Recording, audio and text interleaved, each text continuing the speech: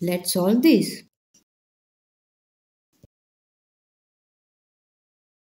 Question is square root of 3x minus square root of x is equal to 2. What do we do first? Square both sides. So we have 3x minus square root of x is equal to 2 square is 4. Moving 4 to left hand side.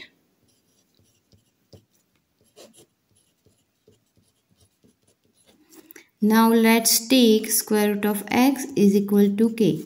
So x is equal to k square. So our equation will be 3k square minus k minus 4 is equal to 0. It's a quadratic equation we have.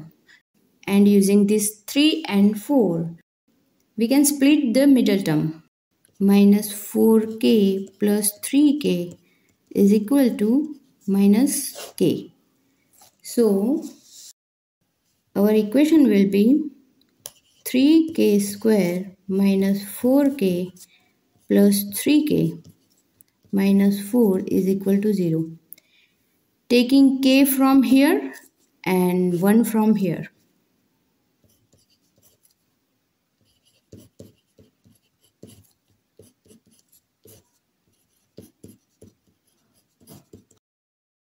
So here we have k plus 1 times 3k minus 4 is equal to 0. So it will be k plus 1 is equal to 0 or 3k minus 4 is equal to 0. So k is equal to negative 1.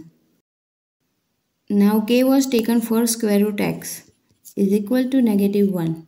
This is not possible because square root cannot be negative and here 3k is equal to 4 so k is equal to 4 over 3 so square root x is equal to 4 over 3 squaring both sides.